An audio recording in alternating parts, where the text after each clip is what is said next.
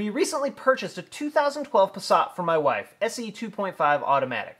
I believe VW wants the fluid changed around 50,000 miles or less on the transmission.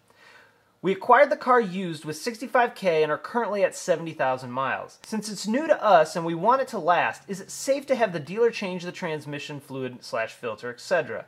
I know with old cars, they used to say, if you never change the fluid, just leave it or problems will start.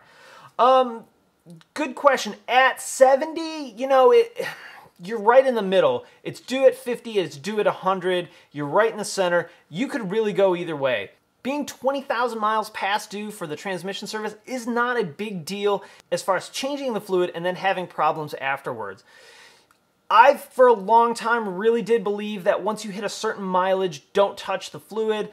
Um, there's transmission experts, you know, from like ZF that say it doesn't matter. I'm not going to say do it or don't do it because sure enough, if I say one thing and you have a problem, you know, it's, it's going to look like that's my fault. And I'm not prepared to put myself in that position. Um, you know, if this were my car, I'd probably go ahead and change it or go ahead and have it changed at the dealership. Um, you know, you're going to keep the car, you want it to last a long time. Now you know exactly when the fluid was changed. You know it was done at 70 and uh, you can just catch back up, do it at 120. It doesn't matter now that you're going to be off mileage. Just make sure you get it done every 50,000 miles going forward and rock and roll and drive your car and love every minute